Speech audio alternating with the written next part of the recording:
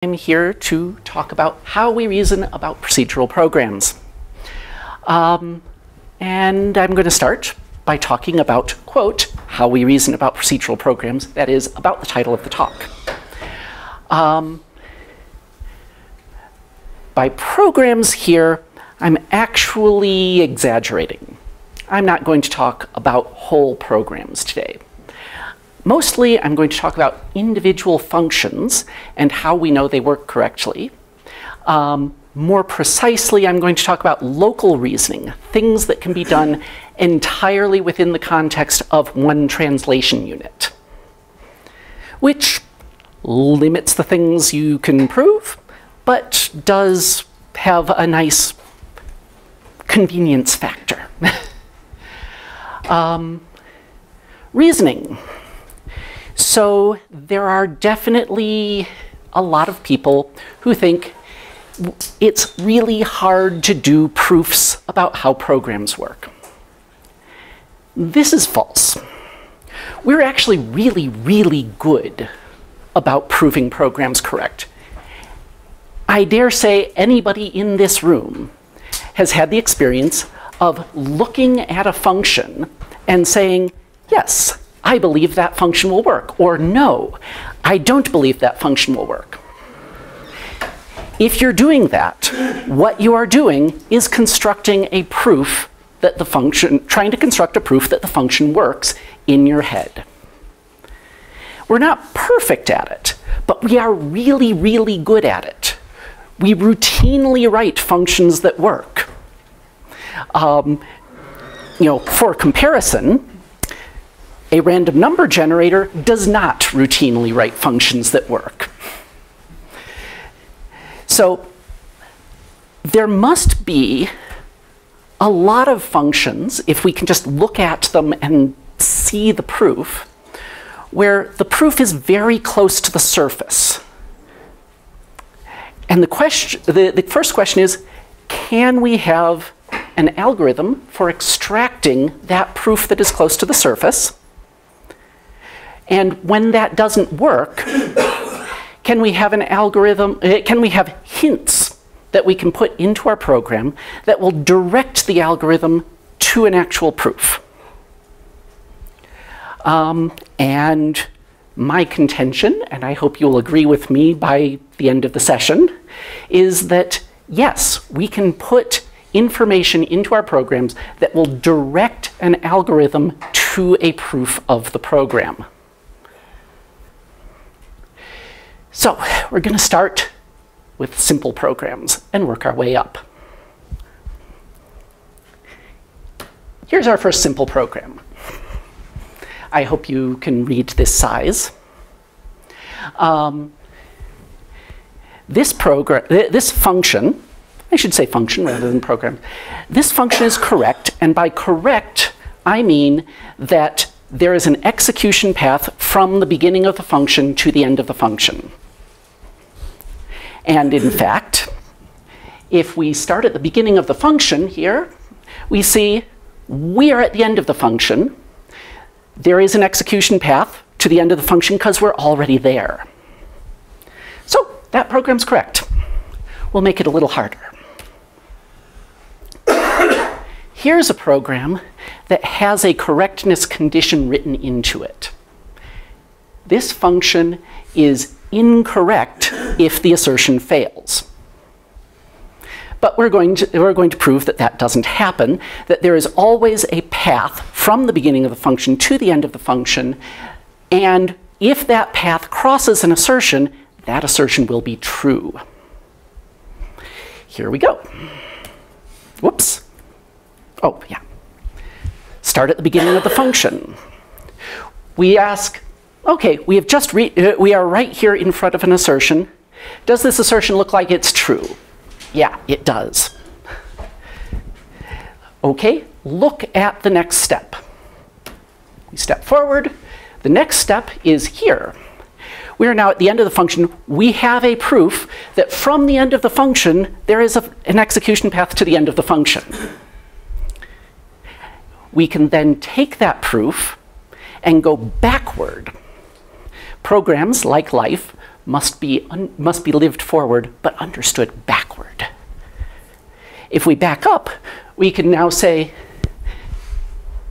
any state at this execution path, any successor of this state has a path to the end of the function. Therefore, this state has a path to the end of the function. And since that's the beginning, we're done. We have a proof that this is correct. Whoops, go forward. Next, oh, I'm going to use a special notation for that case. Instead of saying assert, I'm going to say claim. By claim, I mean something stronger than assert. Not just that this is going to be true, but that simply by examination of the program, it's going to be true. So next function. A little more complicated now, we have a variable. Again, we start at the beginning of the function. We're going to, we come to a variable declaration, and what we do then is we're going to take this thing true, and we're going to color it.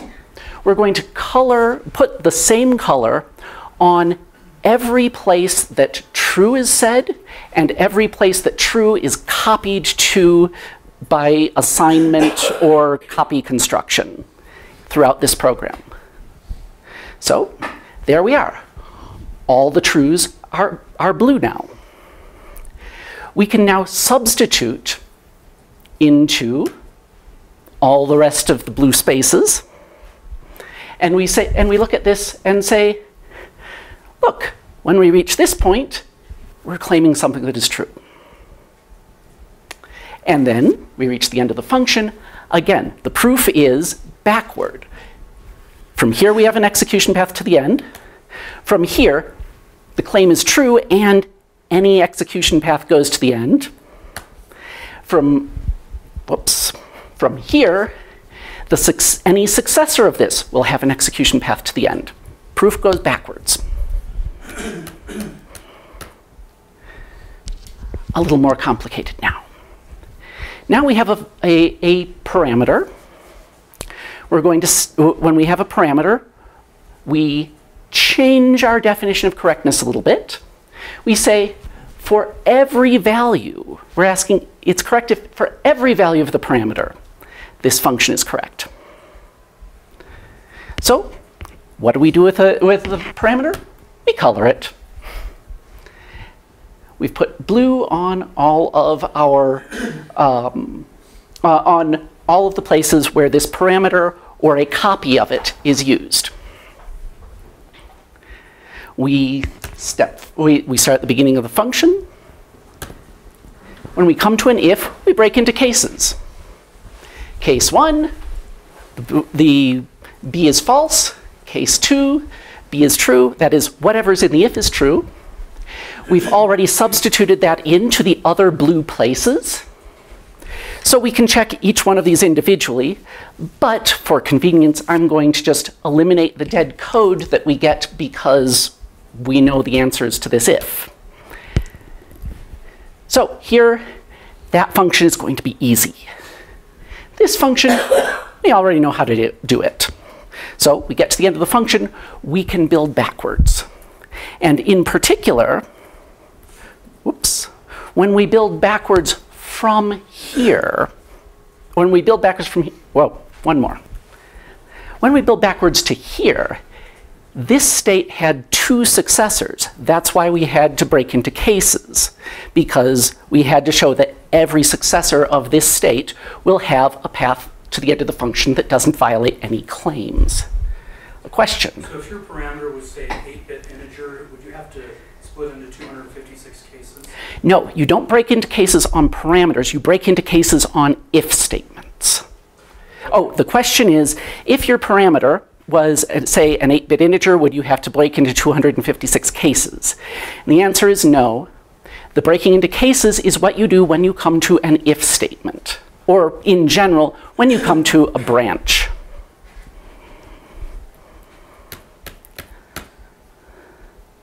A little more complicated now.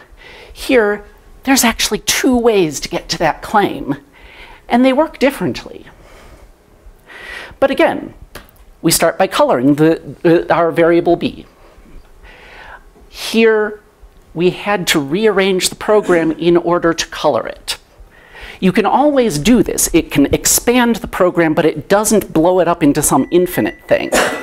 As long as you're coloring one variable at a time, you only have to unroll a little bit. Well, maybe you have to unroll some. so, start at the first sequence point. I am going to rewrite that not into something a little easy, you know, so that I don't have to talk about identities of not. I'm just going to rewrite not as question mark false colon true. Um, now we see we've got a branch. Question mark is a branch. So break into cases. Now over here you see when we broke into the case, we already found out that claim was false. Um, in this one, we already found out that claim is true. So it's okay to get to this claim. It's not okay to get to that claim. Next step. Uh. Let's. I don't know what's going on with that slide. Think it substituted the conditional expression. Ah, yes, thank you. Next, yes, next step is an elimination of dead code. Because we know these things are false and true, respectively, we can eliminate the dead code and just come down to this. Um, now, we're again at a branch statement. We can, you know, we could color our trues and falses or something, but that's not important. We're just going to eliminate more dead code. And there, we've eliminated our dead code. Um, on that side, we step forward to the uh, to assignment to true. We step forward to claiming, you know, when we got that assignment, we found out that claim was true. So we can walk past it. We can walk past this one. They're the same. Next program. Well, a little water, then the next program. Is it going all right for people? Next program, a little more complicated. We have, an uh, we have a complex expression of our parameters. How are we going to get from eh, the fact that we did this complicated if thing and it was true to that claim was true? Well, I'm going to introduce the temporaries so that we can walk through a little bit more slowly. That code is basically this code. I left out a few braces. The temporaries don't have quite the lifetime that they would in this. Um, so let's begin. Color our parameters. Start at the first sequence point we come to this expression, a plus 1. Well, we're actually going to have to color 1 first, and it shows up there and there. Then we color a plus 1, or we don't actually color a plus 1. We color blue plus gray. So everything that is blue plus gray becomes orange. By the way, my apologies to anybody out here who is colorblind. The color is going to get, is kind of important. I didn't know another way to do that. Also, apologies to anyone who is not colorblind. The colors are not always harmonious. so, we have colored blue plus gray orange. And we notice both T0 and T2 ended up colored the same way because we know they are going to hold the same value. Come back.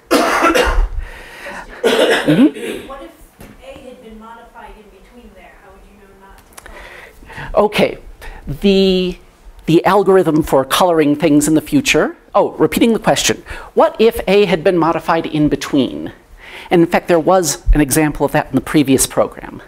Um, when you are coloring things in the future, when you come to a write into a variable, you say, ah, that's no longer the same thing. It's now whatever got written into there.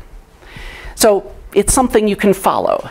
Um, more deeply, it does mean that once you are passing L values from function to function, you are going to have to be careful about which L values are equal to which other L value, uh, which, which L values have the same address as which other L values. Um, being careful about thing, things that are equal is a topic that we'll come to in a bit. Um, okay, so we've done this coloring. We can move on to, oh, What about the integer overflow possible one? The um, addition is an implicit okay. So addition is not an implicit branch in any of this. It is possible here I didn't actually, in an earlier version of the slides that was unsigned, um, I didn't actually put in the overflow checks that, you know, that would be necessary here. You know, if you are adding two numbers, there is an implicit precondition to addition of integers, but not unsigned integers, that the two numbers have a sum that is representable. Um, that I didn't actually write that into the examples that we are that use int here, and in fact, because I made no attempt to um, have a precondition that kept that from happening, this function should really be found incorrect for that reason. But I'm going to ignore that. Um, if they were unsigned, not a problem. Um, so uh, let's see. Moving on to, whoops, yeah, here. We're going to do another expression. Uh, here it's orange less than green. We color it purple. I told you, color blindness might help you. Um, and then we move on. We come to an if statement. We break into cases. And look at this. Because these two were already colored purple, we've put true and false in the right places. We eliminate the dead code. And that side's going to be easy. I'm mostly going to talk about this side. Um, we don't have to color anything because this is already colored. We don't have to color anything there because it's already colored. We come to the claim, it's true, we can keep going. We come to the end of the program, and now we're on both branches at the end of the program. There's always a path from the last sequence point. Um, if you take all of it and run it all backwards, you've got a proof of the correctness modulo the overflow problem. Yes? Proof. So, oh, the question is, why do I have to go backwards? It seems like I've already proved it. It's kind of like I already proved it, but if you actually write down the math, the order in which you need to prove things is you start with the shortest thing first and work your, and work your way up. Um, so when I say you go ahead, need to go backward, really, yes, we have found our way, we're good. But to satisfy the mathematicians, to match the notion of formal proof that is out there, um, you would actually write down the steps in the opposite order. So I do want to go back a little bit and talk about, whoops, yeah, here's a good spot. Um, I'm going to talk about what's a color. A color represents a set of equations. Um, here, the color um, orange represents the fact that t0 is equal to t2 is equal to a is equal to a plus 1 as calculated at those various places. That is, if you walk forward, you, you can think of every variable calculated in the future as an expression written in terms of the variables you have here at the fist. And the color orange is saying all of those expressions are equal.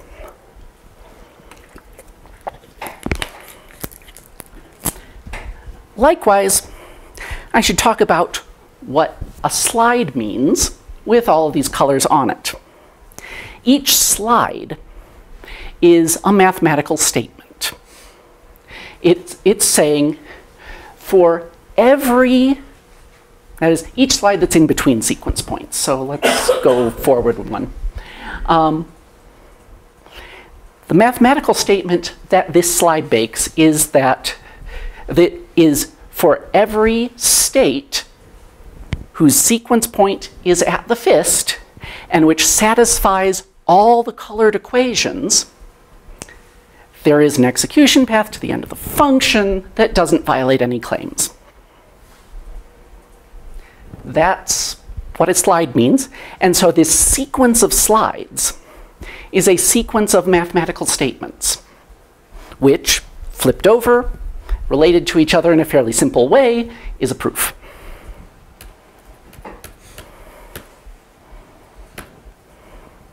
Next program. This is uh, kind of a real life one. It's a bit tricky though, because here I'm claiming A is equal to B. And we know it's gonna be equal, they're gonna be equal. But I'm not even mentioning doing that comparison until I get to that claim. How can it possibly be provable? Well, directly, you'd have a problem. So we're going to put in a hint. I'm going to posit as an axiom that either A is less than B, or A is equal to B, or A is greater than B. And this is a familiar axiom, we call it trichotomy. Um, and when we reach that point, when it's easy to calculate, we're just going to assume that that expression is true. So let's go. Color the parameters. We start here, we come to an if. Oops. Um, got the layering wrong here, but we color the expression in the if, and again, we see it's repeated. And again, we're not coloring the expression in the if. In fact, it's maybe a little clearer with the slide this way. We're coloring blue less than green. So anytime we see blue less than green, it would be orange. Break into cases. True's over there, false is over here. Eliminate the dead code. The one on the left, that's easy. So I'm just going to concentrate on the one on the right. Again, you've come to an if statement. Color the thing in the if. Break into cases. Eliminate the dead code. One on the left, again, it's easy, so we ignore it. If you were actually coding the algorithm, you would not code it to say, ignore that. um, so again, we've come to an expression. We're going to evaluate A is equal to B. We color it. Um, double bar or that's a branch. We break into cases.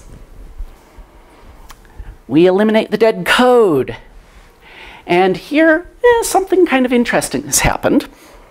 On that side, we are assuming that true is true, which is not terribly informative, but it's a nice place to be. On this side, we have posit false. That's not going to work. We are assuming that false is that something is true when in fact it's false. So what we are assuming when we say posit false is this case never happens. Whoop. I guess I decided to look at the posit true, claim true bit there first. Over here, posit false, we just eliminate that case, and we're done. Next program. It gets a little harder. Um, in fact, it gets so hard that I put in assert there. Why did I put in assert? Anybody? Because this is not obviously true. We're going to have to add something in if we want that to be true. But let's give it a try anyway.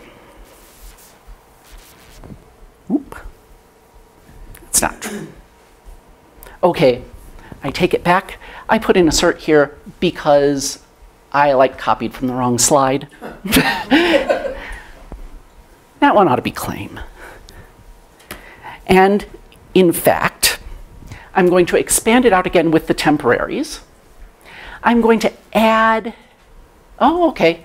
So I did decide I needed to posit something.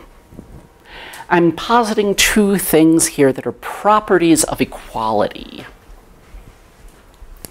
Um, here, I posit that if A is equal to B, then A is substitutable for B. That is, in expressions, using A and using B, using the value in A, using the value in B, would give you the same result.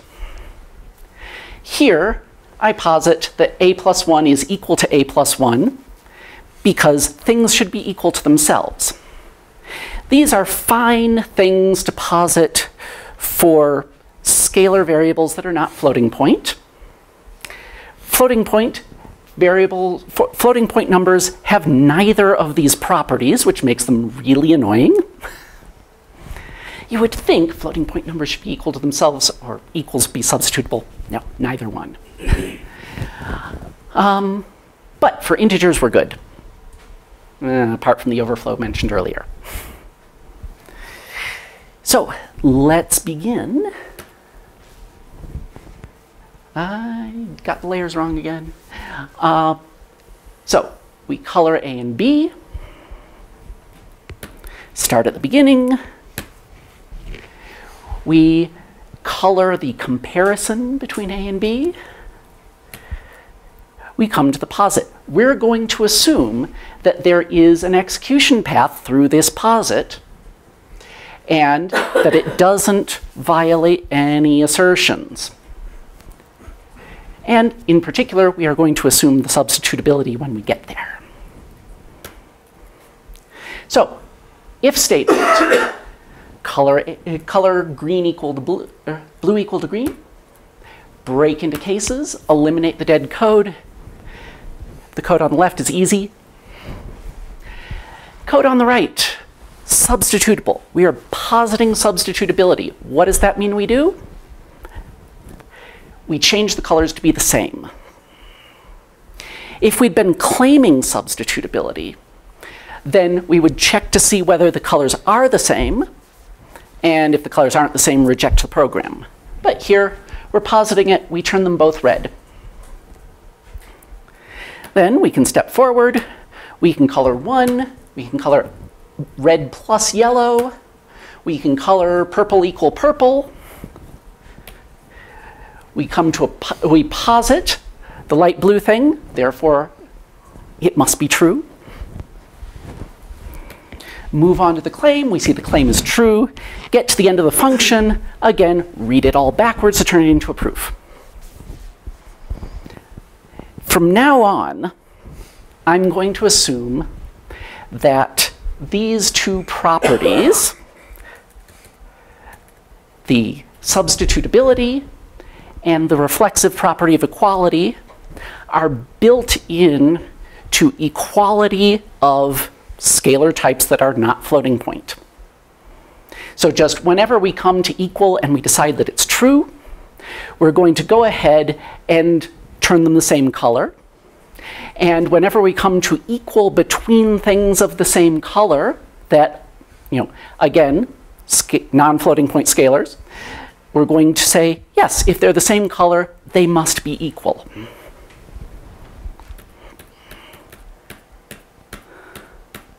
So, next function. This one is a lot like the previous one. This is how I got mixed up. This one is a search because this one's trouble again. Even with our substitutions with the substitutability and the reflexive property, it's going to be trouble. Here's the program with all the temporaries written in.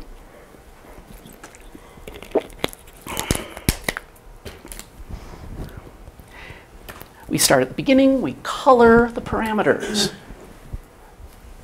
Up here, we color one, we color blue plus yellow, we go to the next statement, we color green plus yellow. I hope, uh, I, yeah, you've probably got figured out that this is light green, that's dark green. It looks clearer on here. um, move on to the next statement. Color A equals B. Move on. Come to this posit. We break into cases, just like before. We're, we're going fine, just like before. Eliminate the dead code, and we come to the substitutability. Whoops. And the thing is, when we make those the same color, it's not going to change the color of these at all. That's a problem. It's actual, actually a deep problem. Really, you want to go back and change the color of something back there, and then run forward again, and then you would find out that these were in fact equal. But if you do that, if you change the color of something in the past, you have to worry about things in the future of the past that have changed color and you would interpret them differently now. And then you have to worry about things in the past of the future of the past and what goes wrong then. And you end up worrying about the past of the future the past of the future the past of the future of the past. And end up in a state that John Rhodes refers to as living in Woody Allen time because it will make you neurotic.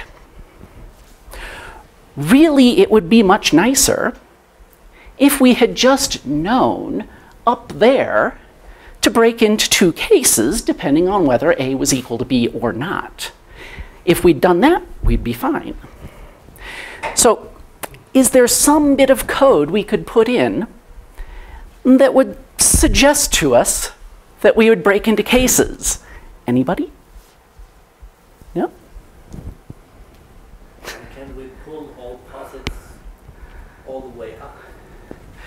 You can't, if you try to pull them all the way up, you're going to get into this back and forth anyway, because which direction they substitute into each other becomes an issue. Um, so the ordering in which you say things is important. Could you move the A1 and B1 down past the initial posit since the A and B are not modified prior to that position? Uh, yes, uh, you could do something like, say, oh, the repeating question. Could you move the addition up here past the posit? Now, there was a branch in, in between. So we would have to say something up front, like, if A is equal to B, then we'll do the substitution. But we can be more direct about it. Oop. Ah, yes, there, I did the substitution. It didn't help down here. More directly, just put in a branch up there. Does nothing except force whoever is doing this coloring to break into cases as soon as they get to the branch. Once they've broken into cases, everything else is going to work. Different way to write that branch. Claim A is equal to B or A is not equal to B. That might be a little familiar. and this is what I would call a guiding claim. Sometimes you can just add in a few lines that make the proof go more smoothly. And that's sort of the lesson here. If you add in a few lines, you can just make the proof go smoothly. I'm going to point out that it's okay to rearrange things like this. As long as the claim is before the second addition, you're fine. I won't actually walk through and show it to you. You can take that as an exercise if you like. so I see a few of the old hands are glazing over a little bit. Because this is the easy stuff. everybody knows it gets complicated when you come to loops. So, let's have a loop. Here's a loop. The question is, is this correct? And that is, is there an execution path from the beginning to the end? If the loop runs forever, there is no execution path from the beginning to the end. So this program wouldn't be correct. Function wouldn't be correct. Um, there's a bit of math involved in figuring out whether there's an execution path from the beginning to the end. In fact, this is the bit of math. I'm just going to say up front, 0 plus 1 plus 1 is 2. I feel confident in claiming that since it's an integral constant expression. Um, and with that in hand, we can start our coloring. We'll color 0. We will color 1. Color blue plus yellow green. We will color green plus yellow purple. Um, and you see, as we color it, we have to rearrange the code so that things of different color end up on different branches. So as we're going through, we're sort of pushing that loop away from us and turning the things that are closer to us into branches. Next up, we will color 2. 2's red, so the question is, purple plus red. Okay, purple plus red is orange. And again, we have worked out that calculated 0 plus 1 plus 1 and compared it to 2. So we're good there. It's, we're claiming it, but it was an integral constant expression, so we are comfortable saying, yeah, that's true. But that puts the true in here. Whoops, so we can eliminate some dead code and move on. Now this program is pretty easy. It doesn't even have a loop in it anymore. How do you get rid of a loop? You calculate a bounding condition for it. You calculate enough possible exits that it could own, uh, enough possible exit conditions that it could only run finitely.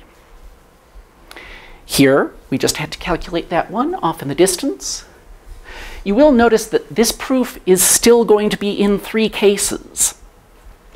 There is a case where 0 is equal to 2, um, which we will check and we will say, yeah, we're good if 0 happens to be equal to 2. There's another case where 0 plus 1 is equal to 2, and we'll say, yeah, this function is good even if 0 plus 1 is equal to 2. And then there's our third case where 0 plus 1 plus 1 definitely equal to true. We don't have any question about that one anymore.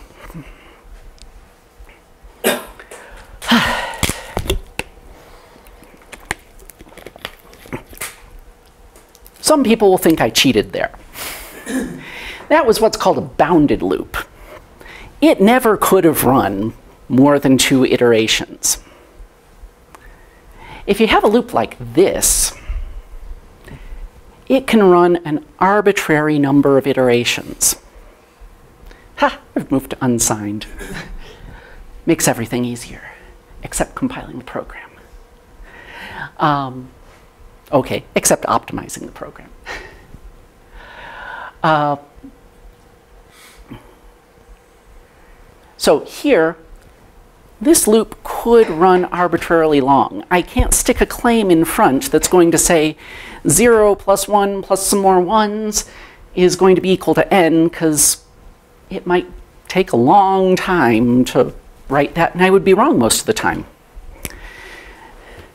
So what can we do with an unbounded loop like this? We can posit the unbounded loop exits. This is actually a mathematical axiom here.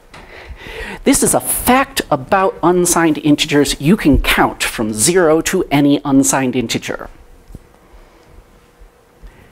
So, okay, we can posit that there exists an execution path through this loop.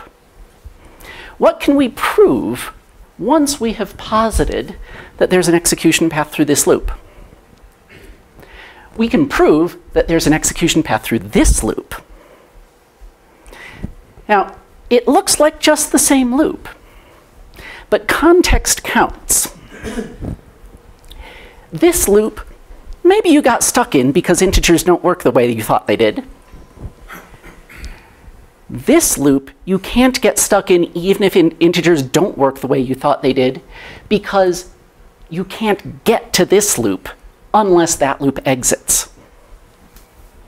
Another way to look at it is this loop calculates a bounding condition for that loop.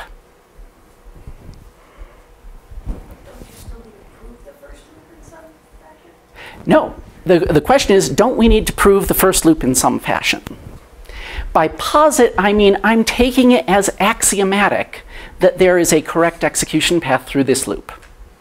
So we're just not going to prove it. We've given up. Um, or another way to look at it is that we're taking, is that, yeah, that's one of the axioms of mathematics. You don't have to prove your axioms.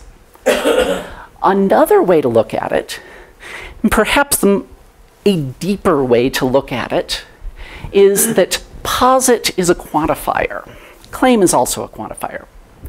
Posit and claim are quantifiers over execution paths.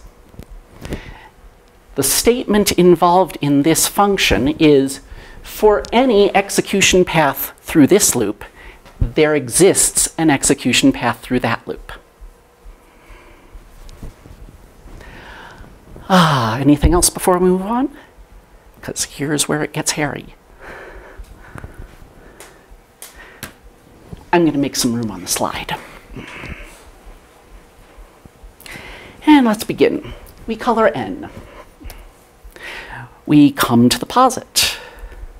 We step into the posit and we color, um, we, we pick the color yellow for zero. Keep going. We compare yellow to green. There's orange is yellow equals green. We break into cases. Same old stuff. It's a little, the code around it's a little more complicated, but same old stuff. Um, we eliminate the, whoops. Ah, we break into cases. We saw that there was an equality on this side. We just decided that this, equal, this equality was true.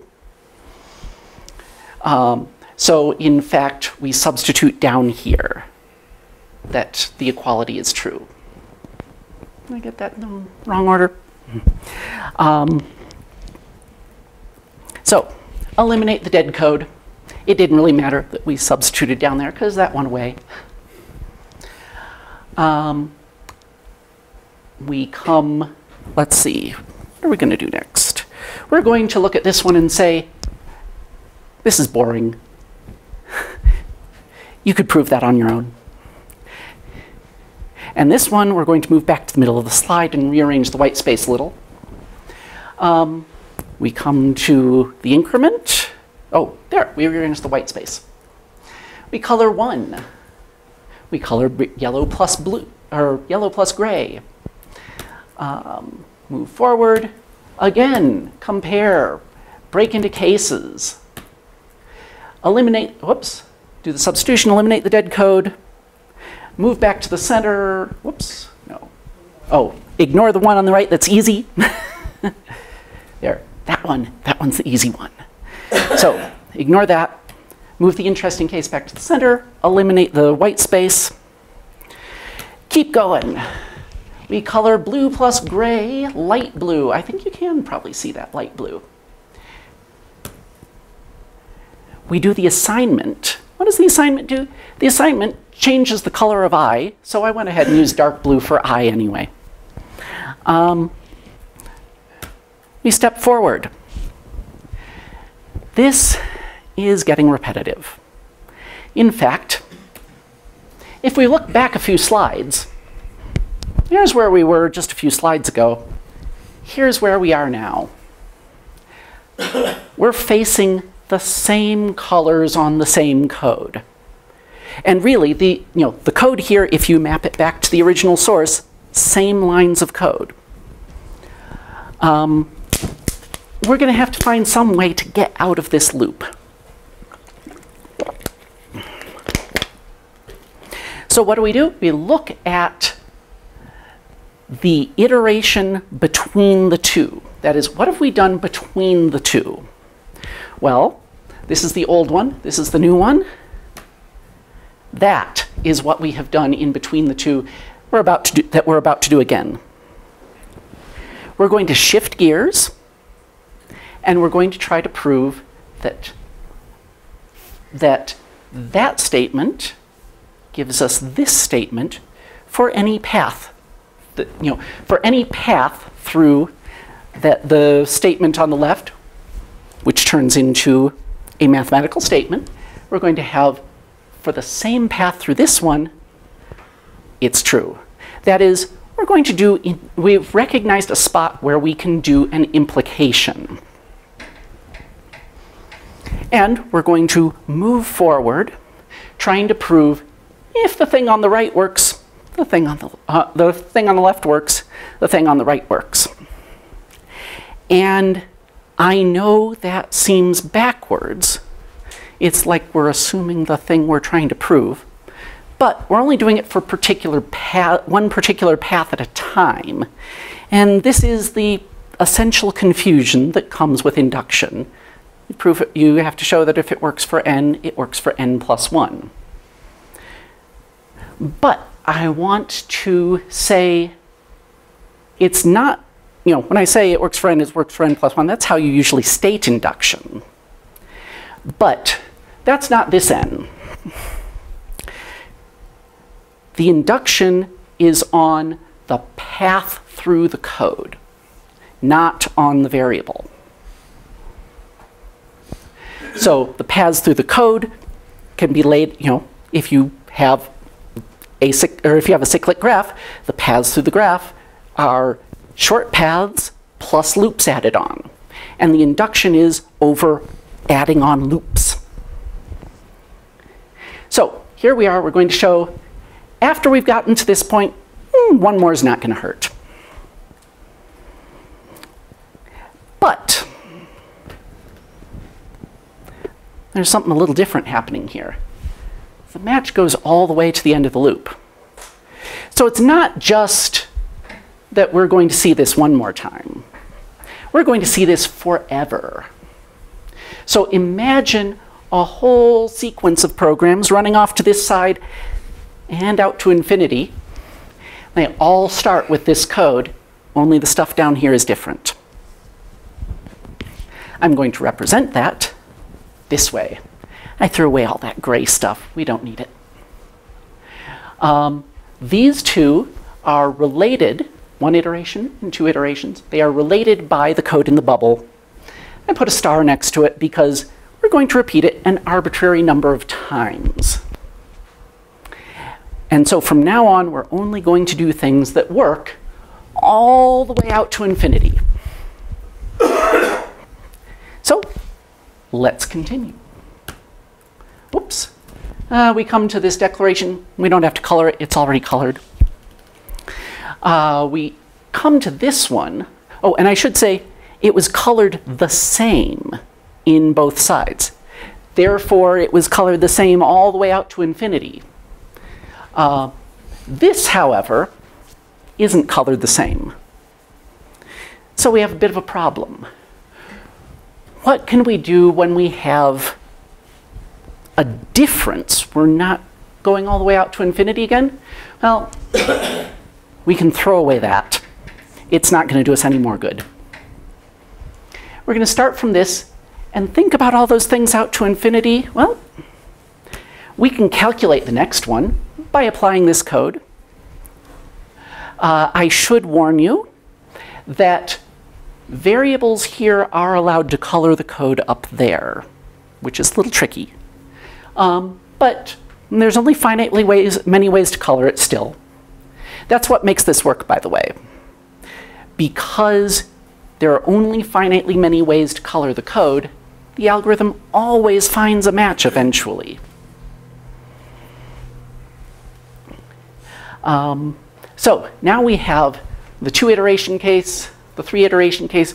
We never actually proved that the program worked after two iterations, so we have to handle the it exited during that case also.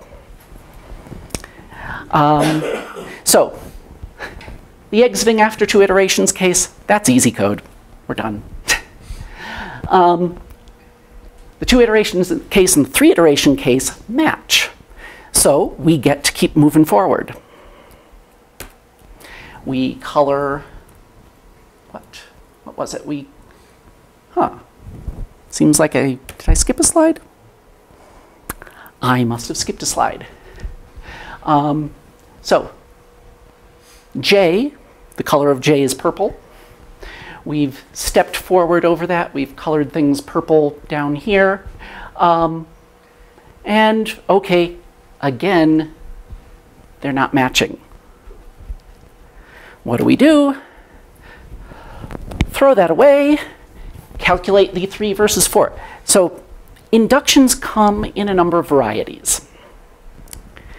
The very simplest induction is, well, the first one works, after that another one doesn't hurt.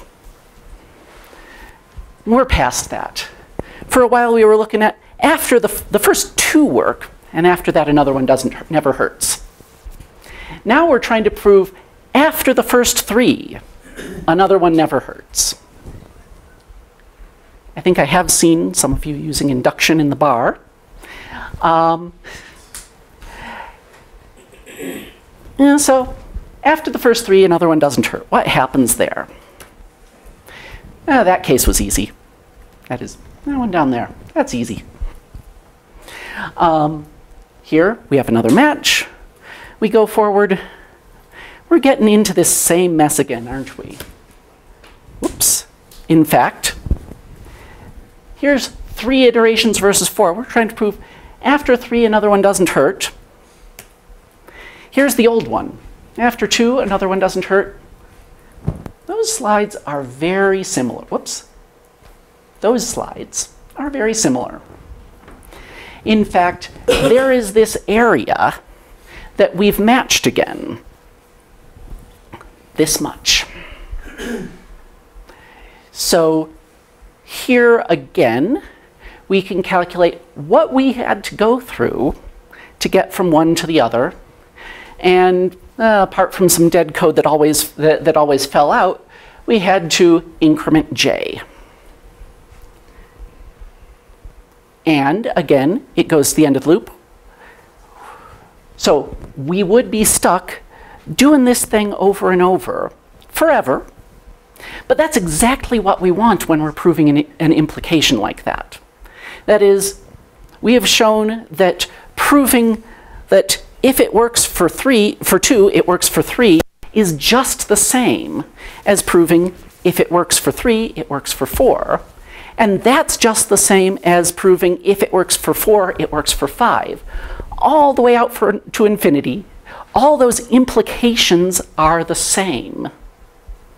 And they never caused us any trouble, so we just get to skip to the end of the loop.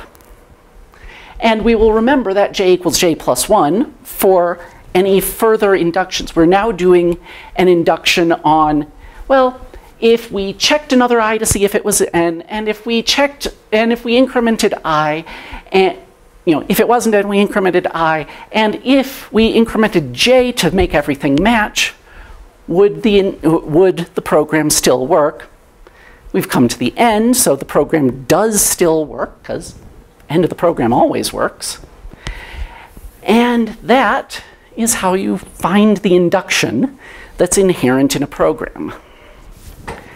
Um, it doesn't always work. I told you that there's a big family of inductions. For this loop, there's always some number of special cases at the beginning, but it might not be after that another one never hurts. Sometimes, for the heavy drinkers, it's another double never hurts, or another triple never hurts. there's a big family of inductions.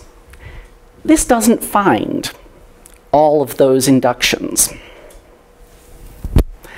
Um, and really, it's very hard to because infinite set of inductions, it's multidimensional. But, and it gets worse if the thing that you're positing, if the code you've gone through before has more complicated structure, because really what you're doing is an induction over the loops that you have already accepted. So they might be very complicated loops. You know, it's induction over paths through a graph. Um, and they get complicated. Um, but the important thing is not that we have chosen the right induction for whatever the rest of the program is. I mean, that would be lovely, but that's not so important. What's important is that we have chosen an induction strong enough to prove a copy of what we had done before. And if we can do that, we can stick in some declaration, uh, we can stick in a guiding claim that will push things into any, other, into any wider induction. And the inductions have this nice property that, the, that if you go wider than necessary, you're still good. You know, the small inductions prove less stuff than the inductions further out. So what can we put in here if, say, we want an induction on another double never hurts? Put in this little thing here. We're going to make two booleans, even and odd, start with even true and odd false. And we're going to write a loop here this loop, maybe I should have written, written j equals j plus 1, but um, this loop is just the same form of loop as that loop up there. Our, the way we found the induction, we'll find an induction that will work for this loop because it has the same form. Yes? What does the claim block mean? Haha. Yes, just like posit is a universal quantifier over execution paths, a claim is, is an existential quantifier over execution paths. Um, another way of, of looking at it is by claim, we are asserting that we will find, you know, that by inspection of the program, by finding that induction, we will find an execution path through this loop. I stuck it in a claim because you wouldn't actually want to run that code, not like if you want to go fast. You don't want to stick an, an extra ON loop in your code. So this is like an assertion. It's there to help the proof. It could also be there for helping testing. It probably, you know, this one doesn't help testing much, but it would try it. It's, you could run this code and see. Um, so yes, the claim there is mostly to say, yeah, this code is not really part of making the program do its thing, but instead is there just to guide the proof. So, oh, uh-huh.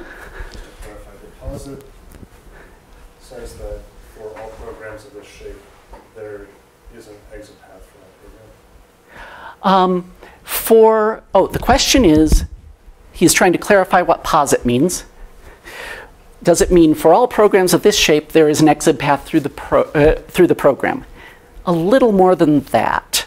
Um, it is once you have reached the posit, that, you know, that is for every state that you could have reached to get to the posit, for all programs that are colored in the way they are when you reach the posit, um, there will be an ex, you know, for, and for, Yes, for every execution path through the posited code, the remainder of the program is correct. It gets a little bit more tricky when you put it in a loop. Um, I will throw out there the words Borel determinacy. Um, and the people who know what that's for, um, oh well.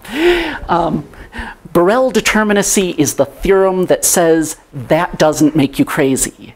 I mean, it still makes it a little hard to work with, but um,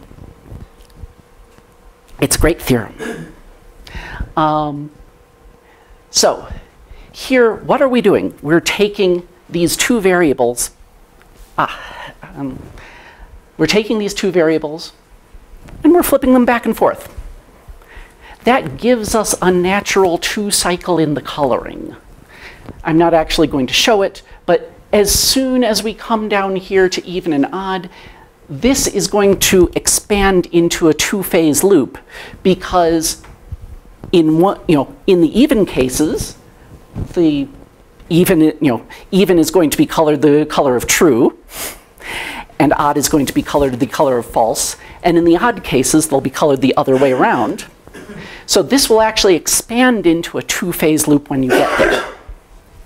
More generally, any expansion of a monoid, which is what you get when you try to unroll a, an execution graph, um, any expansion of a monoid can be represented by the monoid acting on a finite set. Um, so there is always a set of variables you can do like this, and you know, you sort of get the idea that, yes, label the kinds of states, push them around so that true is always in the correct spot. It'll be what you want.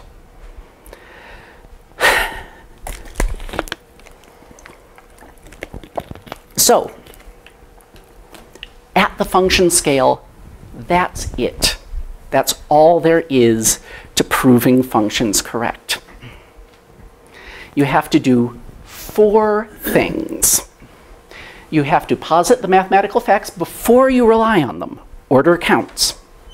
You have to mention equalities before they become important. You have to bound loops before entering them. And you have to uh, put those induction unrollers in before you come to a loop that has a crazy complex induction behind it. I should point out, those hardly ever happen. If you look at like all those, you know, all the basic algorithms in the STL, eh, at least all the linear ones, those are just, we posit reachability, that is, we posit a loop, or we take reachability as a precondition, which effectively posits it for us, and we run a loop. Maybe we run two loops, but all of them are just are just assume that one loop exits and prove that some identical loops exit with the little frills around the edges of the identical loops like that swap.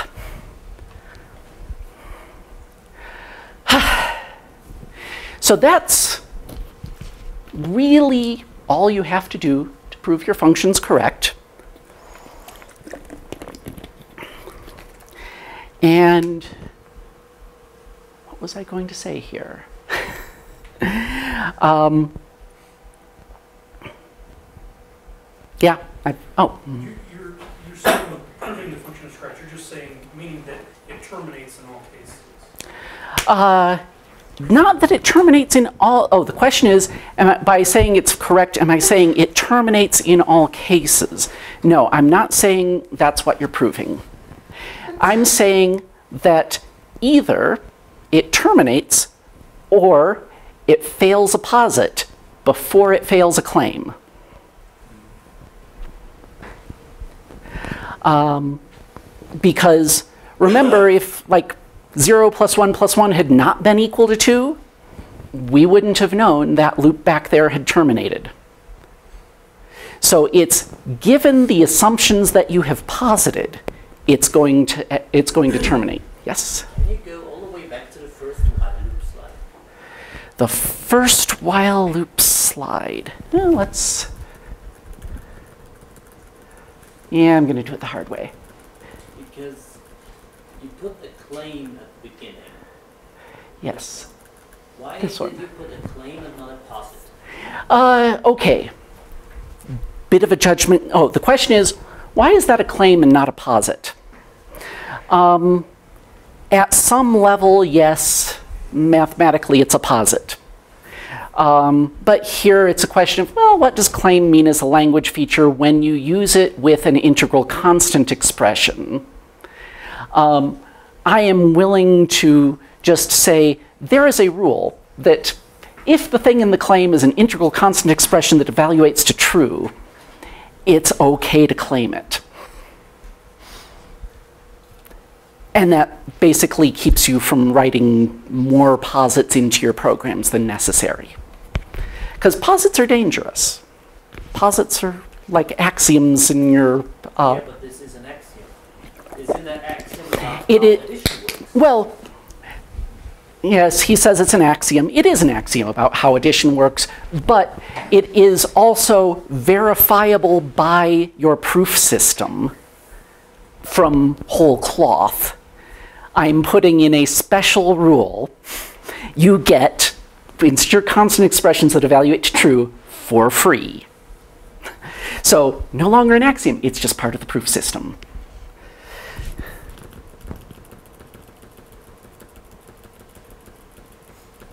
Yes, doing loops is slower. But I will say that was a judgment call about how I want my proof system to work. Yes. I'm uncomfortable that you prove these things work as long as we don't encounter any undefined behavior, but encountering undefined behavior is the kind of thing I'm trying to prove doesn't happen. Yes. Um, okay. Um, yes, this is, oh, the question is, I've proved that these things work as long as you haven't encountered any undefined behavior. Um, kind of the next level of working up from here is what are all of the preconditions of the basic C++ operations? Undefined behavior is always a precondition violation. Some undefined behavior can't, some of those preconditions can't be currently stated in the language. So, and this goes beyond the scope of what I'm doing today, but to get there, you have to put in ways to talk about whether, whether an L value is readable or writable, for instance, which can't be said in the language right now. Um, but once you've got that, you can say, okay, here in my function precondition, part of my precondition is this thing is readable and writable. And then when I read it and write it, it won't have, you know, I, I will be able to prove that that doesn't have undefined behavior. Other things like division by zero, well, we're just going to say anytime you say, you know, integer division, there's just an implicit claim happening right before that. The precondition of division is an implicit claim that that thing's not zero. And we'll reject a program if it hasn't given us reason to believe that number isn't zero. There's some work left for scaling this up. Um, so I would be remiss in not showing you like an actual proof of something a little complicated. Here's something that one might want to prove. If I can count from 0 to n, then I can count from n backward to 0. Not a very deep thing, but you can see this is going to require some sort of mathematical statement in between. It's not just calculating the same thing the same way both times. It's calculating paths through, through loops in different ways. So the question is, what goes in there? It did take me a little while to figure out what goes in there, but I think with a bit of practice, years and years from now, people might be able to say, this is what goes in there, of course. um, the, the mathematical fact that you need to get from one loop to the other is that the predecessor of each number in that range, or sorry, the, the predecessor of the backwards numbers are equal to subtracting one from you know, that number. That is, this is, you know, this is our core fact, that the predecessor is s minus one. predecessor of s is s minus 1. Here is the definition of predecessor. You will note it's not doing s minus 1 to figure out the predecessor. It's counting up to s, and it's saying, what was the thing I counted just before? That's the predecessor. So this is sort of decrement the hard way, whereas s minus 1 is decrement the easy way. It's also necessary, it turns out, to posit these things in this order. One early attempt said I was going to do, well, first thing I need to know is that 0 plus 1 is equal to, you know, 0 plus 1 minus 1 is equal to 0. And then I would need 0 plus 1 plus 1 is e minus 1 is equal to 0 plus 1, and so forth. It turns out the substitution doesn't work. You do two cases, two, three cases of that. You walk through and, it says, and you find out you have not mentioned the equalities you need before you need them. But if you do it downward, if you start with the thing before n plus 1 minus 1 is equal to itself, and the thing before that plus 1 minus 1 is equal to itself, and so forth, you lay them out in just the order you need to show that that loop exits. So, to get this right, the reason you put this now in claim is just to say, well, this is just helper stuff. Yes, this is again, I claim that there is an execution path through here. I don't really want to execute that execution path. Um, you could, and if you did, you would find out, oh, the question is, why did I put it in claim again? Um, I mean, he had the answer, but, um, but yes, you, it, doing this, you walk through, you have an execution path. If you executed it, you might find out that, no, you were wrong about arithmetic, because you can actually test this. You can run these loops, you can test this equality, you can actually check that your axioms work in the particular cases where you're using them. Um, you, can't, you can't ever check that they work in general, because that's what you would need a proof for, and by positing them, we have avoided proof. But you can check the particulars. So, this is kind of a useful thing. I'm going to quickly blow it up into sort of the industrial version at a larger scale. This is a theorem. I've rearranged that same proof into not just one function, but a nice reusable function. Counting is reversible. We're going to claim this time a, a loop, the, that there is an execution path through this loop. This is a little different. Because of this word implementation here, implementation is a notation for splitting a function into preconditions and postconditions. You run the preconditions, the caller is responsible for them. So while we're claiming it, it has to be proven. The caller, it's the caller's job to prove that. We come to the implementation. I say claim implementation because the implementation is a proof. It's not something you have to execute. But you might want to, just to make sure it's all working. And then the claim after the implementation is a, is a loop, is our conclusion. So we're going to have to prove that. And over here, we have, I've broken out our axiom into a function called up-down. i plus 1 minus 1 is equal to i. Here, the implementation of counting is reversible. This is the body of the proof. So it's premise, conclusion, that function is a theorem. Implementation of a theorem is a proof. And move this into a bit of a bit more real world context. We can talk templates. With this system, you can write reachable. It's just a loop. You can posit that, you can claim it, it's good. Reverse reachable, same thing, counting downward. That'll simplify the next slide. Here's our theorem and our proof. a template. It's not actually a theorem and a proof anymore. It's what mathematicians call a theorem schema and a proof schema. That is, it's a way, it's a pattern that we can turn into a proof of particular facts once we know what bidirectional iterator is. Um, so, our theorem, claim reachable, a precondition. Whoever calls reachability is reversible has to have already shown reachability. Claim implementation, there's going to be a proof. Claim reverse reachable, our conclusion is yes, you can go the other way around for a bidirectional iterator. And then here's the proof. It's the same as before. I'm using this function up down on, okay, I changed this predecessor of end because I have to actually count from B up to S and then take the previous thing. And let's see.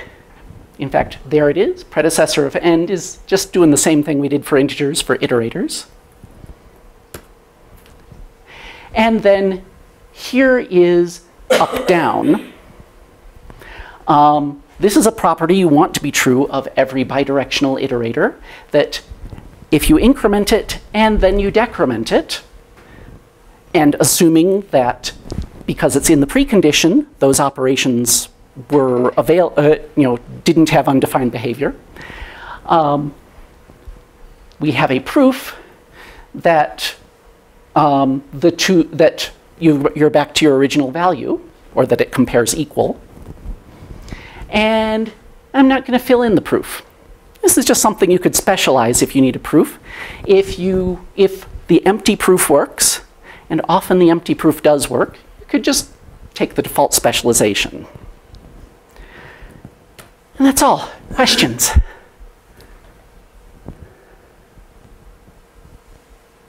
Whoa. I've. Um, do you have any mechanism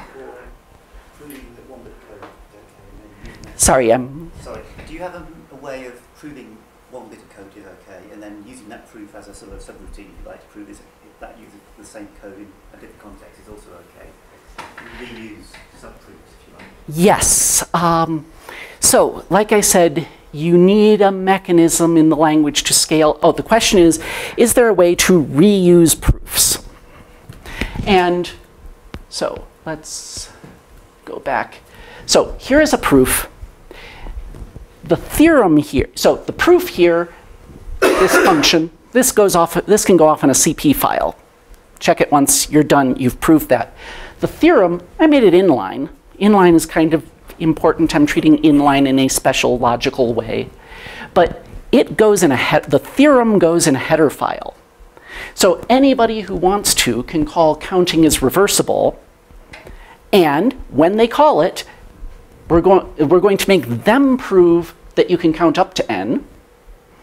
But once they've done that, we can just assume that you can count down from n because we know the proof is out there. so this is separate compilation for proofs. Yes? So do you have like an implementation that I could try this? Uh, no, really not.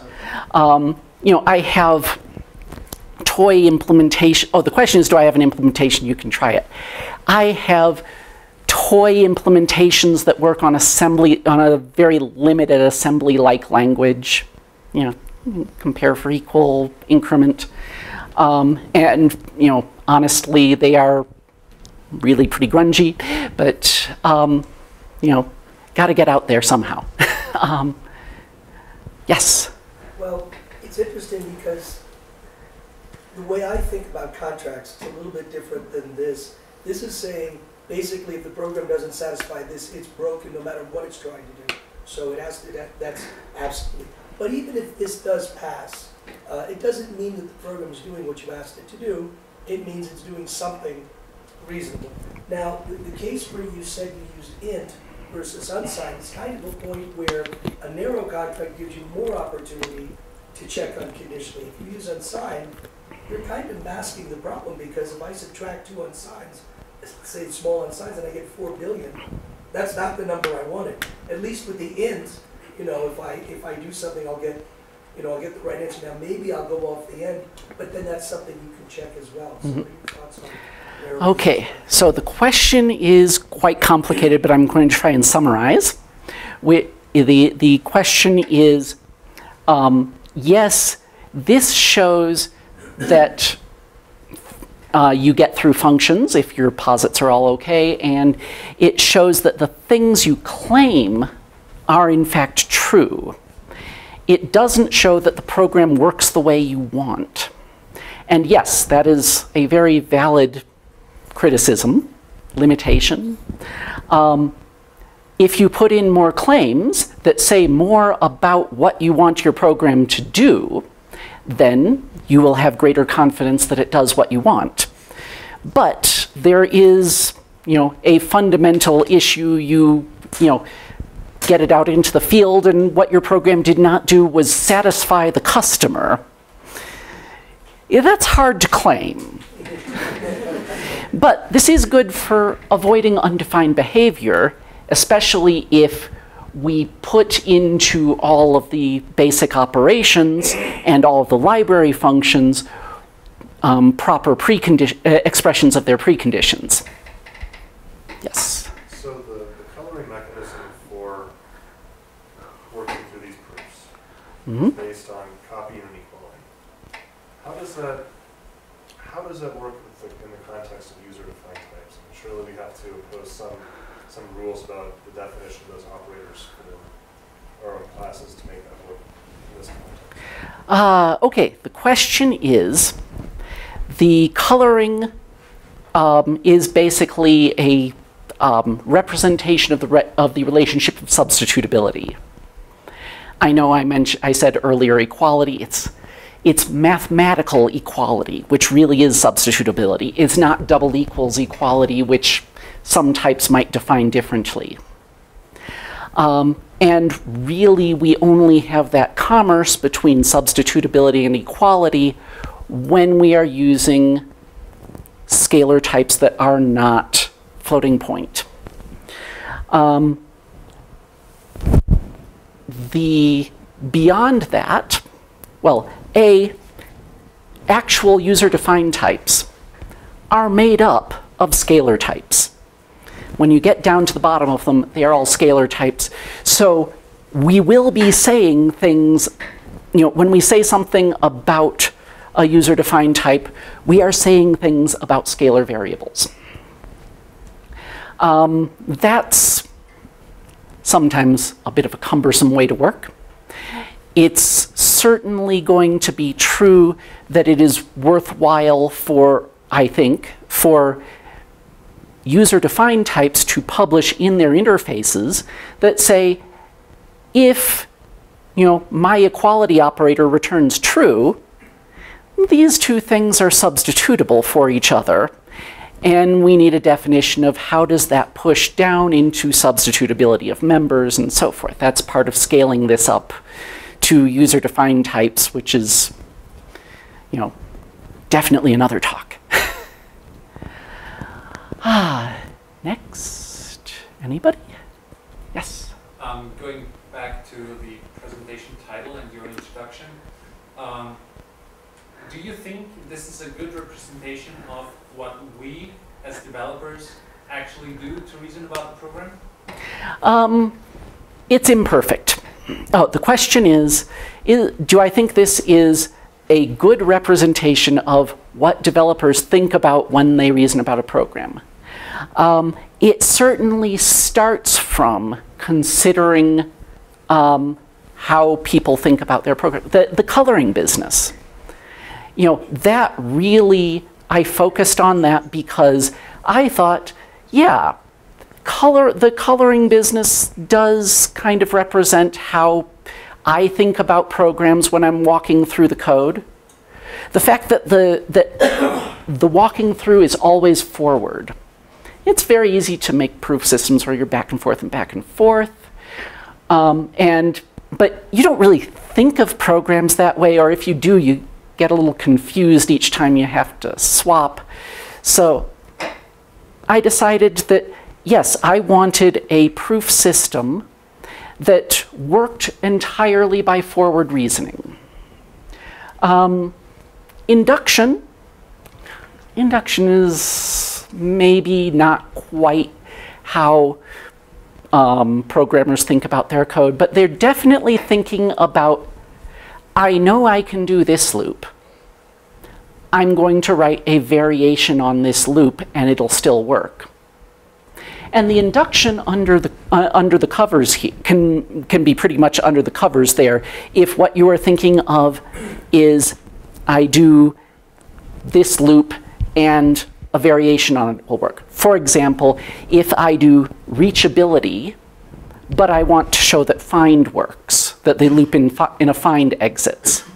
Reachability bounds the loop in the find. And that's maybe the more straightforward way to think about it instead of going back to how the mathematicians do, which is induction. Anything else? So, how would you represent some global state that the function promises not to modify or promises to? Um, the question is, how would I deal with global state that the function promises not to, to modify or not modify? That is a large-scale problem for another talk.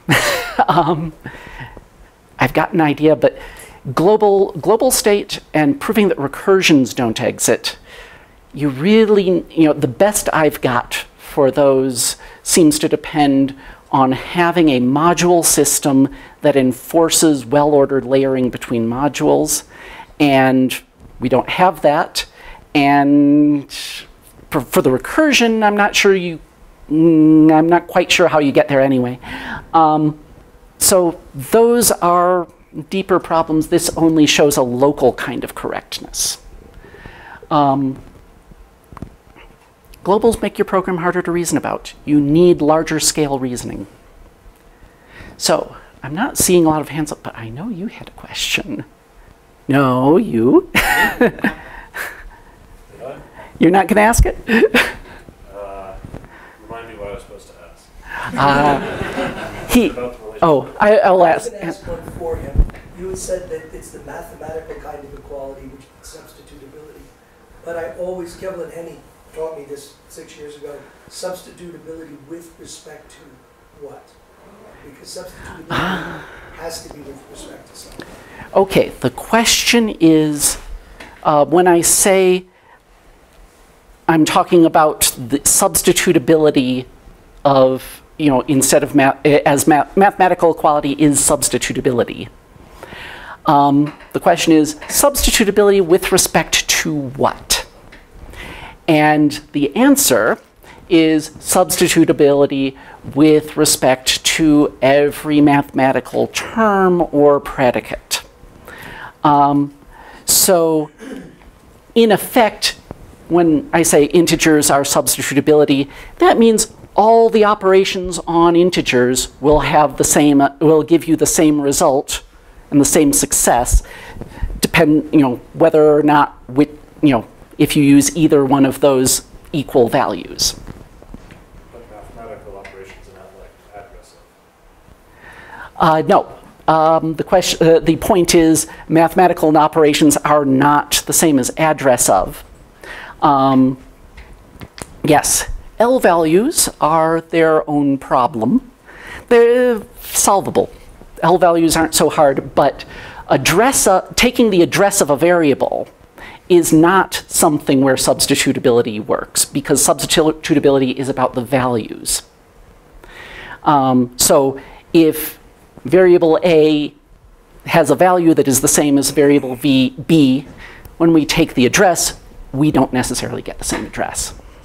Yes? So what sort of tools out there will facilitate this mathematical reasoning about, uh, about functions and or, you know, do parts of it or verify that what you, you know, reason about is correct? Yes. Okay. The question is, what sort of tools are out there that will do this sort of reasoning on your programs and help you get through it? Uh, I'm going to make the slide deck available. Uh, that's, this is early days. Yes. Can, can all posits uh, can be represented as a context No, definitely not. The question is, can all posits be, uh, can be, can all posits be represented as a constexpr? Um, it's not actually a good idea to like modify things and um, you know return values or something out of your claims and posits. Um, that has some issues and there's larger scale uh, questions of what do you want to prove about them. But definitely um, these are active code. When I posit something or when I claim something, the, their equivalent, um, you know, here I'm making an assumption, but the assumption very much depends on what, what um, number was passed in there. So it's something that can't be validated until we get that, you know, it can be proven, perhaps, but it can't actually be tested until we have a value for n. And looks like I'm at time, so you'll have to ask your question after we shut everything off.